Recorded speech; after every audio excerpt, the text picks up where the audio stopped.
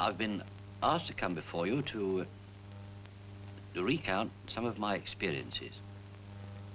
I hope, I, I, I hope you enjoy them, I'm sure.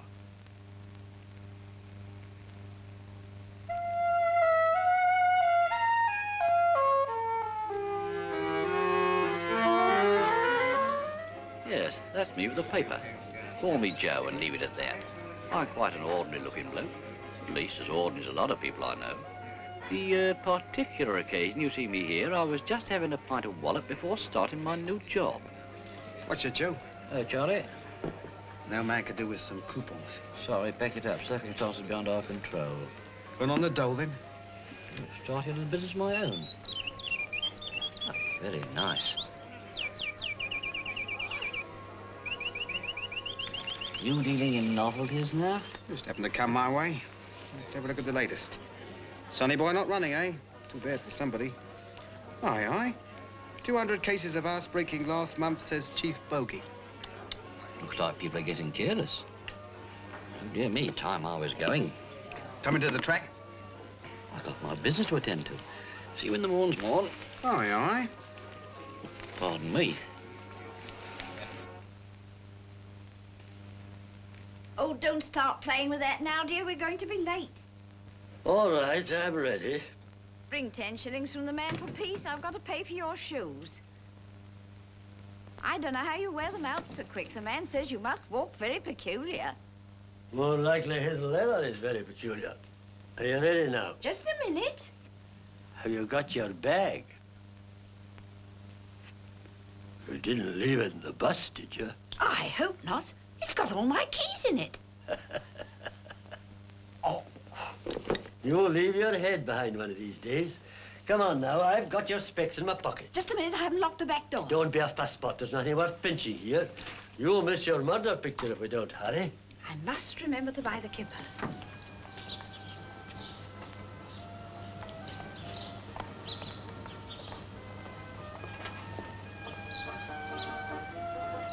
You needn't have given her sixpence, dear. Twopence would have been quite enough.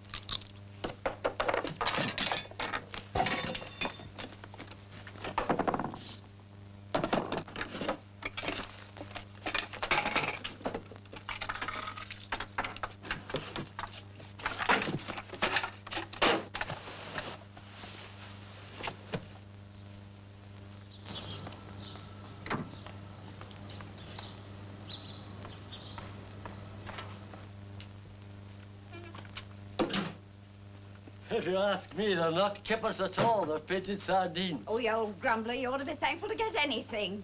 Just put a light to the sitting room fire, will you, dear? I must get my shoes off. My bunions are hurting simply terribly.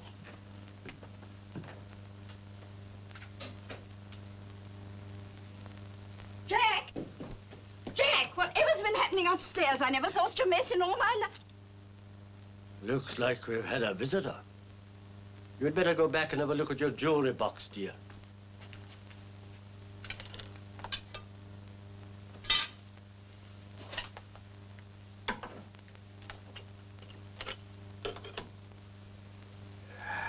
Jack, it's gone. Everything. All my rings, Uncle Percy's locket, the brooch you gave me. You're wearing the brooch, dear. But it looks as though he's got just about everything else.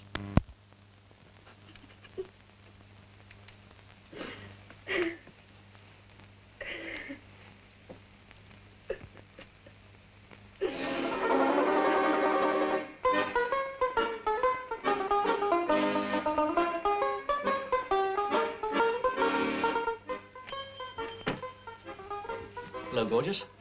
Where's the governor? Inside.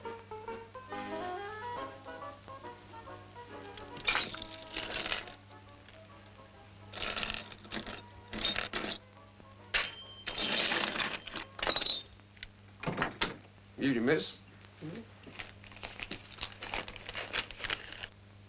Here's the list. Anything else? Nice bit of white stuff. Two quid. Eh? Rose, give the gentleman two quid.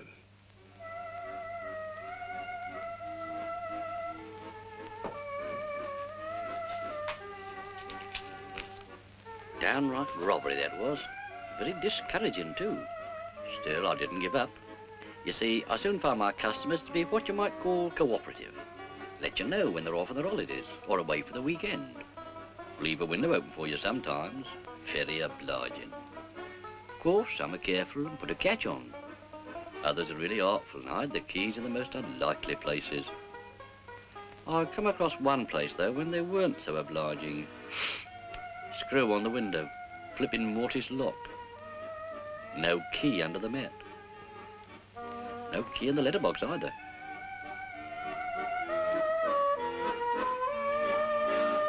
Still, with ordinary people, I was doing quite a brisk bit of business. As they say, small profits, quick returns.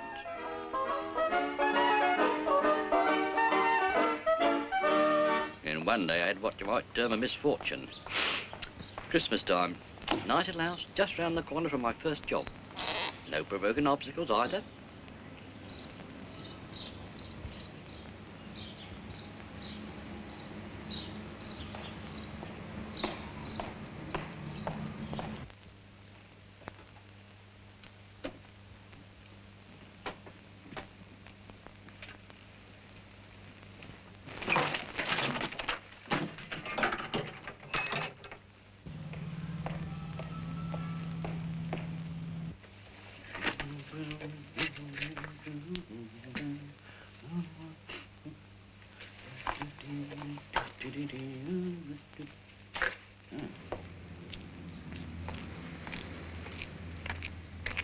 Afternoon, Brander.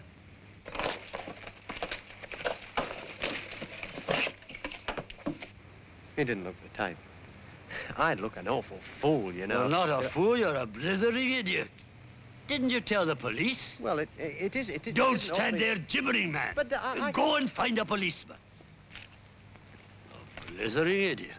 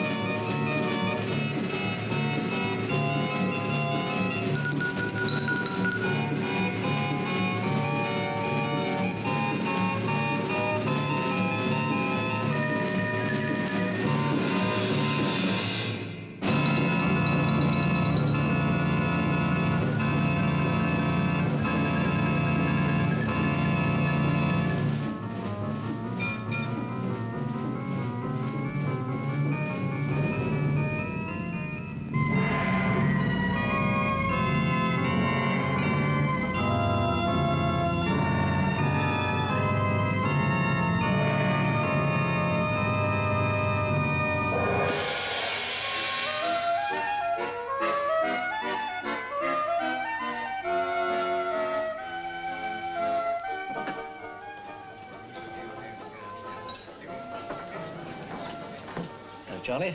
Hello, Joe. Enjoy your holiday. Yeah. You going to the garden party? Yes.